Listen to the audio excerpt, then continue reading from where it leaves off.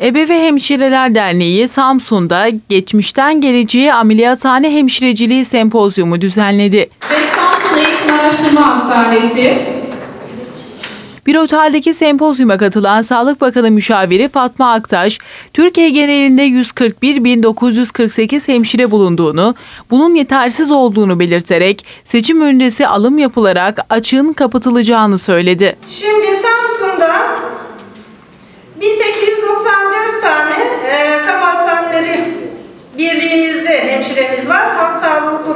249 tane.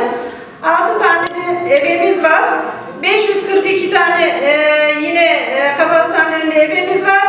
Halk Sağlığı Kurumumuzda da 249 tane toplam 797 tane evimiz mevcut. Bu durum tabii ki yetersiz ama inşallah kendilerinin de talebi üzerine şimdi de seçim öncesinde yine bir alım yapılacak hem 4 belli olarak hem de işte e, 657'li olarak inşallah Samsun iline daha da çok hemşire e, ihtiyacını karşılayacağız.